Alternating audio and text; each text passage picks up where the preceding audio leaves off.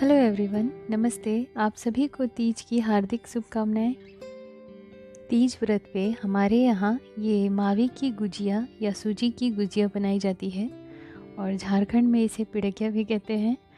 तो चलिए इसे बनाना शुरू करते हैं और देखते हैं कि ये मावे की सिंपल सी गुजिया कैसे बनाएँगे। मावा मैं घर पे ही दूध पाउडर से बना रही हूँ और वो बहुत ही सिंपल है। तो एंड तक आप वीडियो पे बने रहिए। और चलिए इसे बनाना स्टार्ट करते हैं। तो मैंने यहाँ पे एक पैन में टू टेबल स्पून घी लिया है और पैन को मीडियम हीट पे रखा है और उसमें ये दो तीन इलायची के बीज हैं। फिर हम इसमें एक कप दूध पाउडर डालेंगे। ये अभी भी मीडियम हीट पे ही है। इसमें दूध पाउडर डालकर अच्छे से दूध पाउडर को घी में मिक्स करेंगे। और अब इसमें वन फोर्थ कप दूध डालेंगे। अब इन सबको अच्छे से मिक्स करते हुए इसे पकाएँगे। मैं इसमें सिर्फ़ वन टेबल स्पून ये किशमिश डाल रही हूँ। आप चाहें तो और भी ड्राई फ्रूट्स अपने पसंद के डाल सकते हैं। अभी मैं इसमें वन फोर्थ कप चीनी डालूँगी। और इन सबको अब अच्छे से मिक्स करते हुए इस मावे को हम पैन में मीडियम हीट पे पकाते जाएँगे।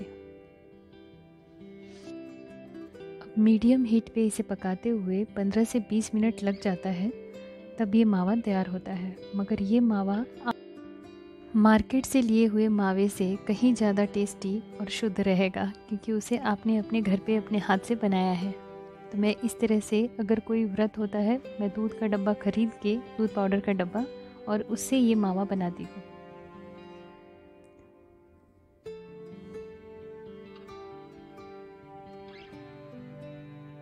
तो अभी ये तैयार हो गया है और हम इसे एक प्लेट में निकाल लेंगे। ये लग रहा है कि थोड़ा गीला है, पर ये धीरे धीरे सूख जाएगा। चीनी की वजह से ऐसा लग रहा है। सूखने के बाद ये अच्छा हो जाएगा भरने के लायक, गुजिया के अंदर स्टफ़ करने के लायक। तो अब हम गुजिया का आटा तैयार कर लेते हैं। इसके लिए मैंने एक कप मैदा लिया है और इसमें वन टेबल स्पून घी डालूँगी। और इसे अपने हाथ से बहुत अच्छे से आप मिक्स कर लीजिए, घी और मैदे को।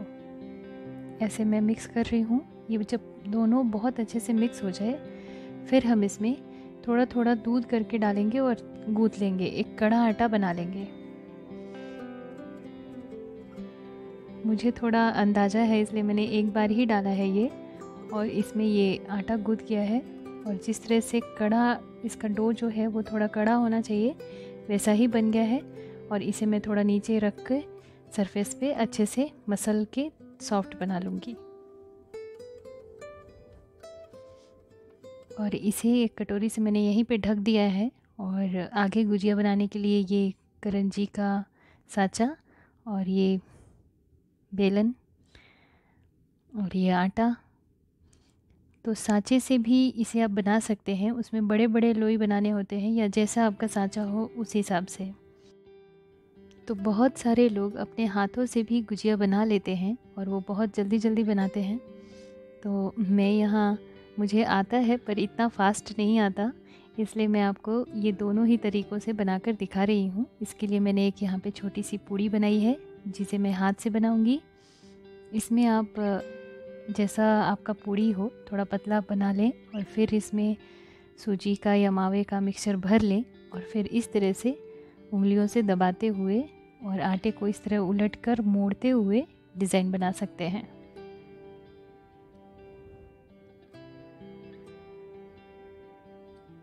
तो जब हाथ से बनाते हैं तो जिनको आता है, वो बहुत जल्दी जल्दी ये बनाकर ख़त्म कर देते हैं, क्योंकि त्यौहार में ये बहुत ज़्यादा और हर घर में बनता है।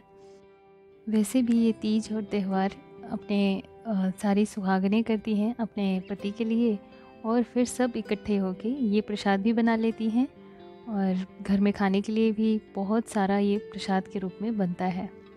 तो जब सब इकट्ठे होते हैं तो बड़े ही मज़े से ये गुजिया बनाई जाती है। कुछ शिव जी के लोक गीत और भजन गाते हुए भी तो चलिए, अभी मैं आपको ये दूसरा सांचा में बनाकर दिखाती हूँ। आप इस तरह से भी बना सकते हैं, सांचे में रख के और उसे दबा दें तो आपको हाथों की ज़रूरत नहीं पड़ेगी। वो डिज़ाइन अगर नहीं आता है तो आप इस तरह से सांचे पे बना सकते हैं इसे।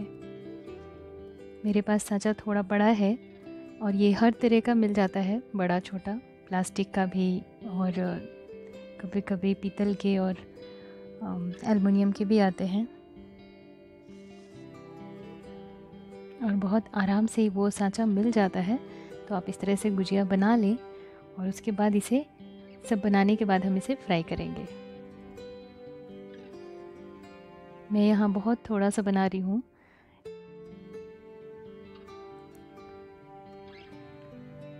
तो इस तरह से मैंने सारे गुजिया को अच्छे से बनाकर तैयार कर लिया है। अब हम इसे फ्राई करेंगे।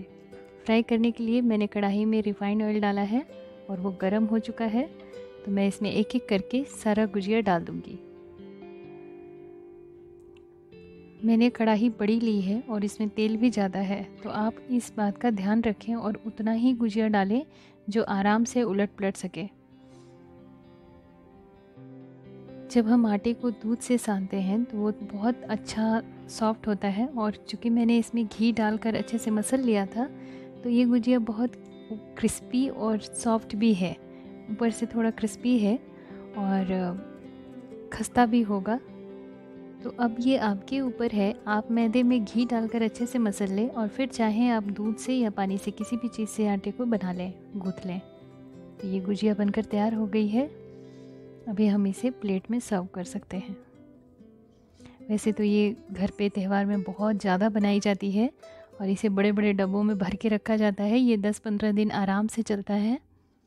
मैं जब ये गुजिया बनाती हूँ तो मेरे बचपन की यादें बिल्कुल ताज़ा हो जाती हैं, क्योंकि मैं ये गुजिया अपनी मम्मी, अपनी दादी, अपने घर वालों के साथ बैठ के थोड़ा बहुत सीखती थी। आज मैं अपने लिए थोड़ा बहुत बना लेती हूँ।